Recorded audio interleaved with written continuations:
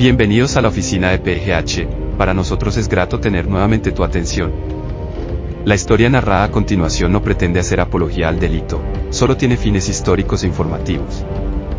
Recuerda que el relato está basado en anécdotas e investigaciones, por ello puede que algunas cosas no hayan sucedido como se cuentan en el video, eres libre de sacar tu propia versión.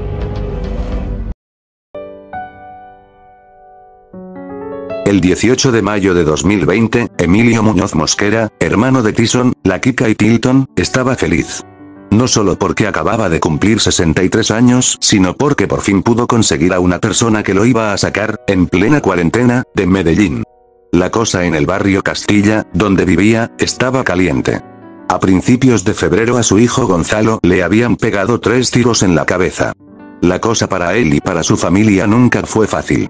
Fue el tercero de 15 hijos de la pareja de un policía y una trabajadora social de la cárcel Bellavista.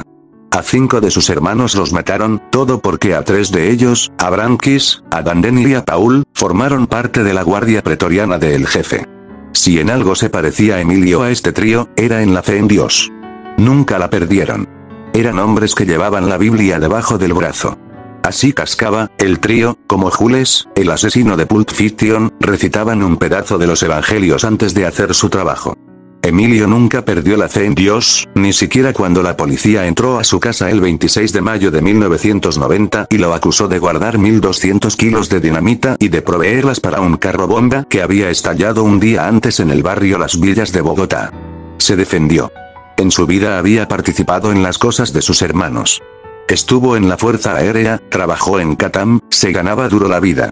Lo dejaron libre en 1994 por falta de pruebas, se puso a administrar un billar en el centro de Medellín y en 1995 lo volvieron a meter preso porque supuestamente estaba preparando un atentado contra el entonces fiscal Alfonso Valdivieso. En 1997 lo dejaron libre, Emilio Muñoz demandó al Estado y solo hasta el 2013 el Consejo de Estado le dio la razón y el gobierno le tuvo que pagar 50 millones de pesos de indemnización. Se fue para los Estados Unidos con esa plata. Allá vive la mayoría de los hermanos que viven. Allá murió la mamá de ellos en el 2017. En los últimos meses de 2019, por razones que todavía no se saben, se devolvió a vivir a Medellín. Ahí, en el viejo barrio Castilla, en febrero de 2020, fue acribillado uno de sus hijos.